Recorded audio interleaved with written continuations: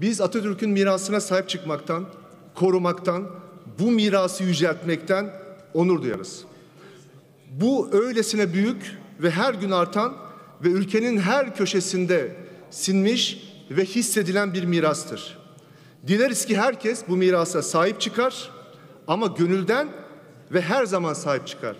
Öyle başını sıkıştığında, darbe yiyince, korku içinde bir babaya sığınır gibi gölgesine sığınarak değil, her zaman güneş gibi onun ışığında aydınlanacak şekilde Atatürk'e sahip çıkmanızı bekliyoruz.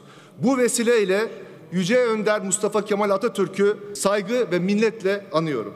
Bu kanun hükmünde kararnamelerle 60 bin öğretmen, 1 milyon öğrenci, 8 bin akademisyen, 13 bin araştırma görevlisi, ÖYP'li araştırma görevlisi, 65 bin üniversiteli ve yaklaşık 2 milyon aile etkilendi arkadaşlar.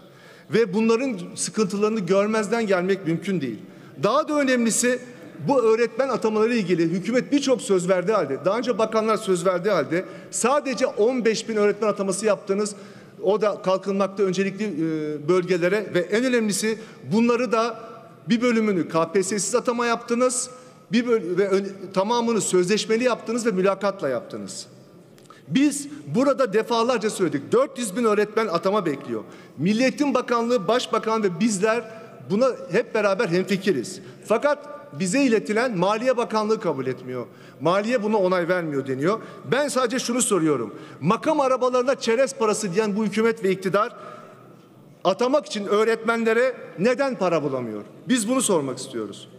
Bunun dışında her türlü fiziksel altyapı ve engeline rağmen öğretmenlik yapmaya hak kazanmış engelli öğretmenleri atamayarak önlerindeki en büyük engel siz oluyorsunuz. Bu konuda defalarca duyarlılığa davet ettik.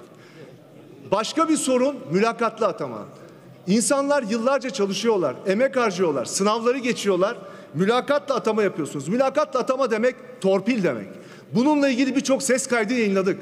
Birçok ilçe ve il başkanımızın konuşmalarını kayda aldı öğretmenler. Ve orada açık açık şunu söylediniz. Örneğin bir il başkanınızın size ben aynen ifadesini okumak istiyorum. Sen hiç duymadın mı? Bu mülakatlar yapılırken parti kanalıyla bir referans olunuyor. Yüzlerce öğretmen geldi. Mülakatımız var. Yardımcı ol diye. Biz de referans oluruz dedik ve olduk diyor. Arkadaşlar bu bir realite. Artık bunların önüne geçmeliyiz. Bunun dışında bu üniversiteleri siz açtınız arkadaşlar. Bizim asıl söylemek istediğimiz şu. Bu üniversitelerde çalışan öğretim üyeleri bu referanslara, bu insanların Cumhurbaşkanlığının, Başbakan referanslarına güvenerek orada işe girdiler. Ve şimdi bu insanlar işsiz ve hiçbir yerde çalışmasına izin vermiyorsunuz. Üstelik haklarında hiçbir soruşturma, hiçbir suçlama yok.